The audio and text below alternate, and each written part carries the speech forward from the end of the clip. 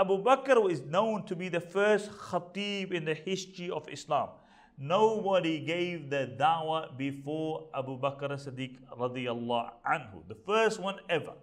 He went to the Messenger of Allah sallallahu wasallam and he said, Messenger of Allah, when there was approximately 30, 30 plus individuals, he went to the Messenger of Allah sallallahu wasallam and he said, O Messenger of Allah, let's give the da'wah open. Prophet sallallahu said, no, too early, we're too weak, it's not a good idea.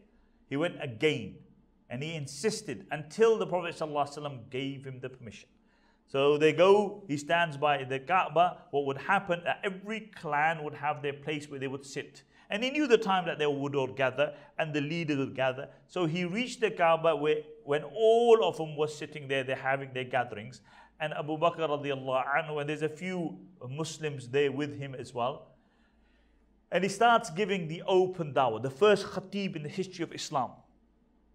The mushrikeen, when they see this, they set upon the Muslims. They begin to beat the Muslims, but with a special focus on Abu Bakr Siddiq radiallahu anh. And they begin to beat him. And there's a, a man called Utbah bin Rabi'ah. Utbah bin Rabi'ah took off his shoe, he had a heavy shoe, and he began to smack the face of Abu Bakr radiallahu anh. Understand, Abu Bakr was very respected. He was very loved. But when it came toward the deen, you know, these people were unsparing. So he beats Abu Bakr until the narrations mention that he was beaten so severely that you couldn't even recognize him. They said you couldn't tell the difference between his nose and his, and his mouth. That's how his face had swollen.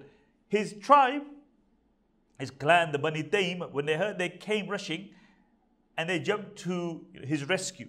Now, the Bani Taym, the vast majority want Muslims.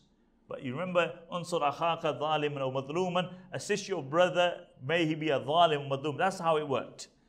So they carry him home. They are sure he's going to die. The Bani Taym come back into the Kaaba and they make announcement. If he dies, then we will kill Utbah bin Rabi'ah. Utbah was known to be a warrior.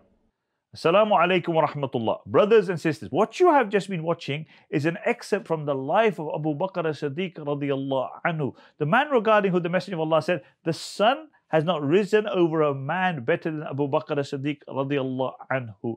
By the grace of Allah subhanahu wa ta'ala, I have delivered over 50 episodes on the life of this great man.